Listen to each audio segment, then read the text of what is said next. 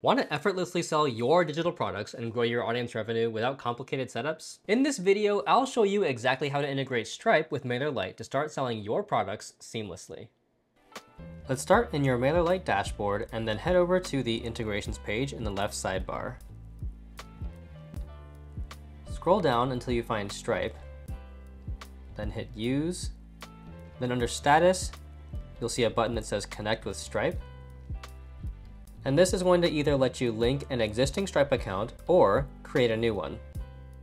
Once you've connected your Stripe account, we need to head over to your Stripe dashboard.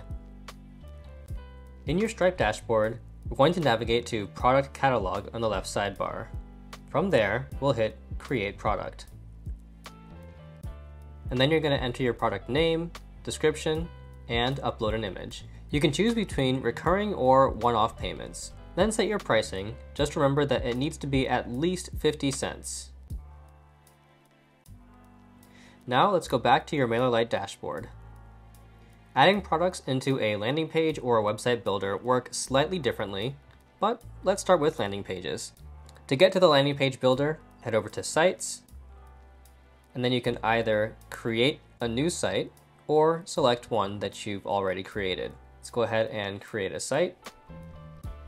Make sure that you have landing page selected and then hit save and continue. Go ahead and select your subscriber group.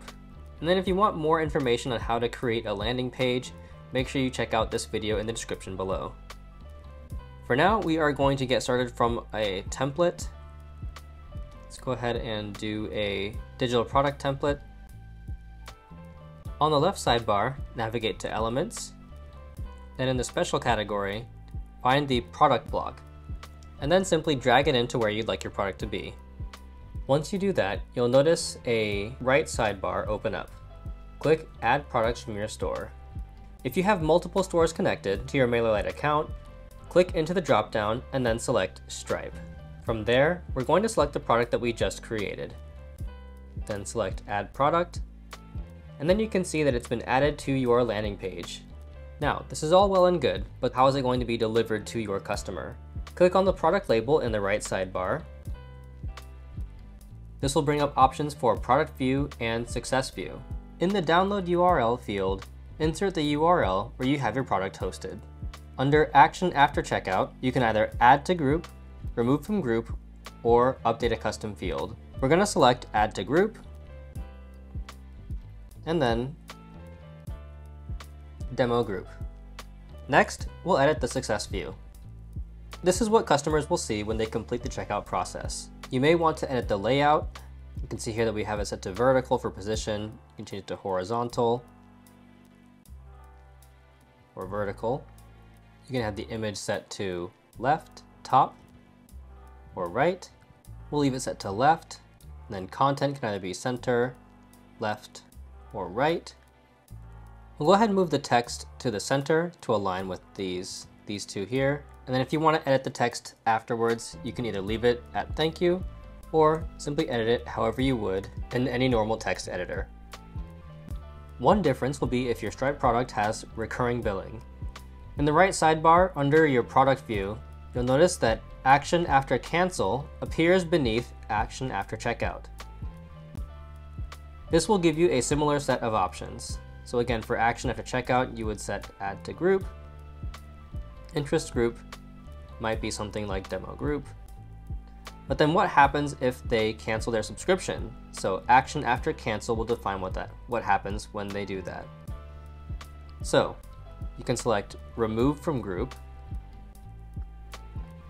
So if you have your recurring product set to deliver to your demo group month after month, once they cancel, this will remove them from the group and therefore they will be removed from the group that is getting that recurring product.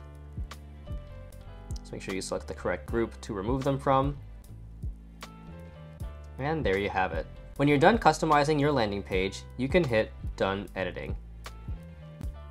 When your customers purchase a product, subscribe to a service, or cancel their subscription, they'll automatically be sent an email confirming that action. To edit these emails, click over to the Stripe tab from your landing page overview window. Click over to the Digital Product tab. From there, you can see the Stripe email section with tabs for analytics, digital product, subscription created, and subscription canceled. You'll see a preview of the email. Clicking on the edit button will take you over to the drag and drop builder where you can customize the look and feel of this email. So if you want to change the logo, simply click into the block, click change in the right sidebar, and then select from a logo in your file manager, or of course you can upload a new file as well. For more on how to use our drag and drop editor, check out the video in the description. Once you're done, hit done editing.